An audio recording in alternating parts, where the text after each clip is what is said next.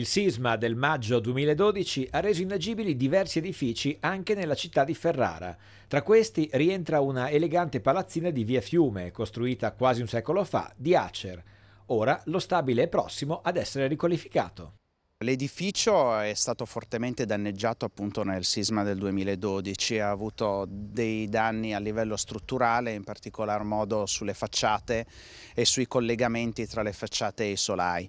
Questo ha determinato dal punto di vista della mh, protezione civile una classificazione come E, che in gergo sarebbe la inagibilità dell'edificio. Quindi l'edificio è stato svuotato, gli inquilini che c'erano hanno trovato una eh, nuova eh, localizzazione abitativa e, e noi abbiamo potuto iniziare le operazioni propedeutiche alla progettazione. Praticamente adesso il progetto è stato completato e è stata bandita la gara d'appalto di cui sono scaduti i termini per la presentazione delle offerte.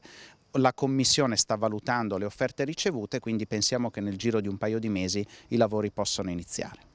Allora, I lavori inizieranno dunque a breve, ma per quello che riguarda le famiglie che occupavano questa palazzina, dove sono oggi e soprattutto però eh, potranno rientrare all'interno di questi stabili?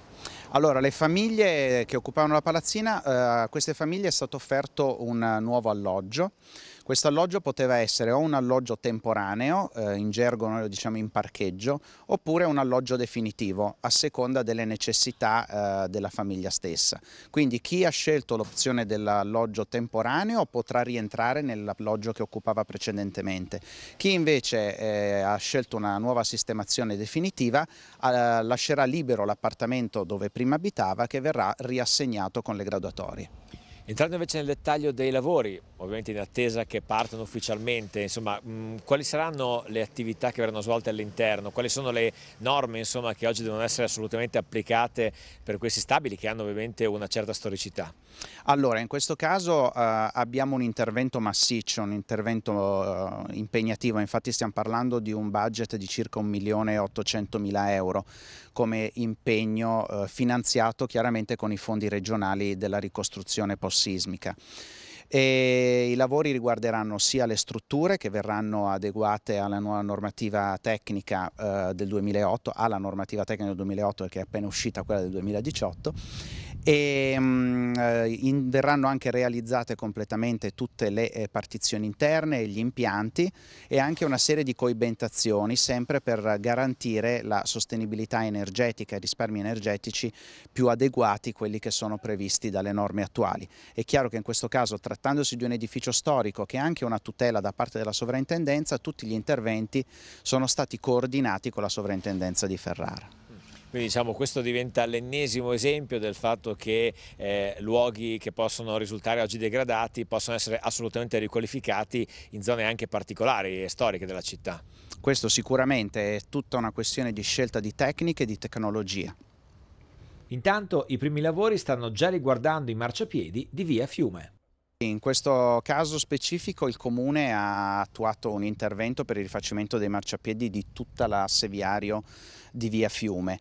E in questo specifico caso abbiamo coordinato l'intervento Acer Comune per fare solamente la cordolatura di chiusura che si vede allineata con quelle che sono state eh, già completate mentre per quanto riguarda la parte di marciapiede interno rimarrà al grezzo per darci la possibilità di intervenire sulle fondazioni senza disfare eh, quanto sarebbe stato comunque fatto eh, dal comune, eh, garantendo così economicità anche nei lavori ovviamente.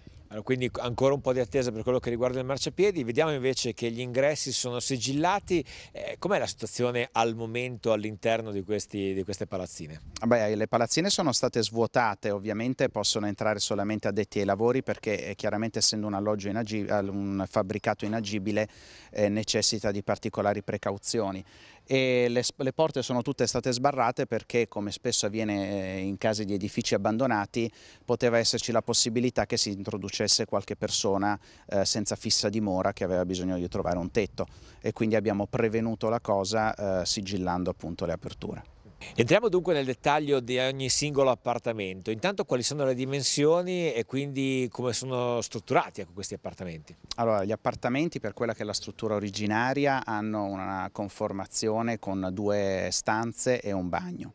Per quello che invece riguarda il progetto di recupero si è dovuto eh, intervenire nella prospettiva di un alloggio eh, monolocale perché dovendo adeguare i bagni, i servizi igienici alle dimensioni previste come minimi dagli standard attuali normativi si è dovuto sacrificare praticamente la stanza e trasformarla in un ambito unico con la camera da letto diventando un monolocale. Quindi prevedete che ci siano molti assegnatari famiglia monopersona? Monopersona o, o due persone al massimo per molti degli alloggi, sì. E le dimensioni sono analoghe per tutti gli alloggi o ci sono alloggi che sono magari più grandi in fatto di metri quadri? Ma le dimensioni sono diversificate perché chiaramente essendo una struttura eh, esistente c'è una conformazione diversa, però bene o male eh, quelli che sono i monolocali rimangono tutti su dimensioni intorno ai 30-35 metri quadrati, mentre quelli che sono i bilocali invece sono un po' più grandini avendo le due camere.